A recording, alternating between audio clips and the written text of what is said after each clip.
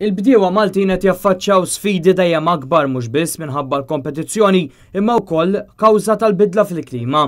Is-sħana li qed tagħmel f'dawn il-jiem, bit-temperatura li mistennija tinħass anke sa 40 grad Celsius fi tmiem il-ġimgħa, qed tagħmel ħsara kbira fil-prodotti. Fost dawn bdiewa li spiċċaw jarmu l-prodotti tagħhom għax inħarqu mix-xemx.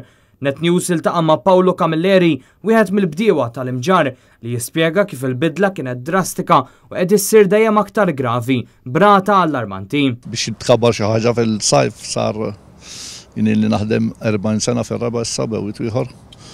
Niftakar minn żmien missieri 'l hawn, anzi kważi kważi jekk nitkellmu dan l-aħħar għaxar snin, il-problema tant saret kontrina din tal-bidla fil-klima, speċjalment bis-sħana eċċessiva tas-sajf, li m'għadek issib tard tkabbar xejn. Fl-aħħar ġimgħat huwa daħal ukoll fi spiża ta' madwar 200 ewro biex jipproteġi l-prodotti tiegħu b'nett apposta. Iżda minkejja dan, uħud mix-xtieli tal-Qarabagħli diġà bdew jinħakmu minn virus. Hija jekk ma tagħmilx dan l-ispejjeż żejda tibqa' bla prodott għax kif ix-xitla ta' qarab għaliha tinbet, tfittx fil-wiċċ jattakkaha l-virus li aħna nemmnu li speċi minħabba din il-klima, il-bdil tal-klima qed joħolqilna dal-problemi. Anke għandi biċċa ħjar l-istess ħaġa, issemmi kull prodott li ssemmi. Dan apparti li l-Imġarr, imma wkoll inħawi oħra madwar Malta, fl-aħħar ġimgħat inħakmu minn nirien qawwija u mifruxa.